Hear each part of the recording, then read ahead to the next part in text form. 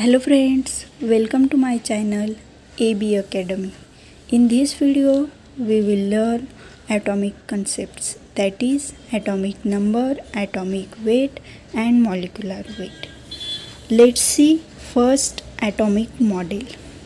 As we have seen atomic model the nucleus is in the center and the protons and neutrons in it. Protons are positively charged while neutrons are chargeless.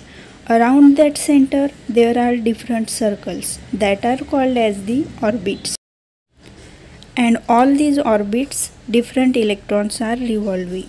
This is a simple atomic model. On the basis of this atomic model we are going to learn what is atomic number and what is atomic mass. So first we will see atomic number. The number of protons in an atom is called its atomic number. In other words, it is number of electrons equal to number of protons present in an atom is called atomic number. Means what? Number of protons equal to number of electrons present in one atom. It is denoted by symbol Z and always remember one thing atomic number written at the bottom of an element. So, atomic number is equal to number of protons is equal to number of electrons and the overall formula is Z is equal to P is equal to E minus. Then we will see atomic weight or atomic mass. The simple explanation of atomic weight is the sum of total number of protons and total number of neutrons present in a nucleus of a single atom is called as atomic mass. It is denoted by A and written at the top of the element. The formula is atomic weight is equal to number of protons plus number of neutrons. The overall formula is A is equal to P plus n. Then we will see how to represent element.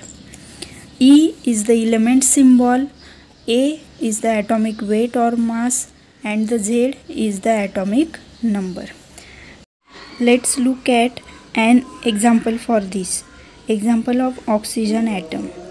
O is the element symbol, 16 is the atomic weight or mass and atomic number of oxygen atom is 8 this is a element representation. If you want to find out how many neutrons, protons and electrons are in it, you can find out by using a formula Z is equal to P is equal to E.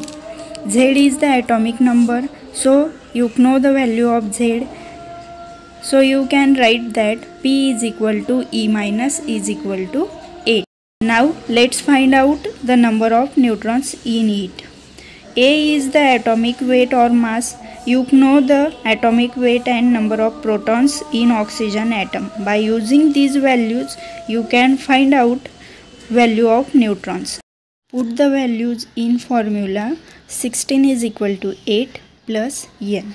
By arranging the formula, you get the value of neutrons.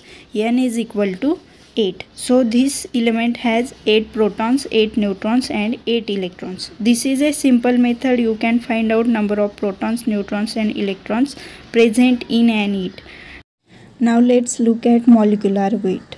The atomic weight of all atoms present in the molecule is called molecular weight. Now the question is what is molecule? The combination of two or more atoms is called as a molecule for example, HCl, NaOH, KOH, NaCl, etc. These are the molecules. Molecular weight also called as molecular mass.